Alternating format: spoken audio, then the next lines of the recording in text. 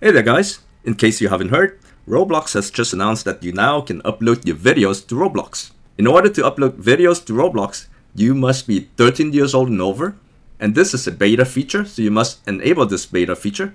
Go to beta features and enable video uploads inside Roblox Studio. Your video must be 30 seconds or less. You can upload 3 videos every 30 days. Each video is only gonna cost you 2000 Robux. You can also click on this link right here for more details. So once you click on that link, it's gonna take you to this page. And again, it's gonna tell you all the requirements for the video. It's gonna cost you 2000 Robux.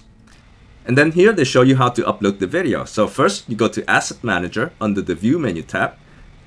Then you click on this button here, the bulk import button. You select the video files you want to upload and then you click the confirm button. Your videos are going to go into the moderation queue. Once it's approved, then it become visible inside your video folder in the toolbox.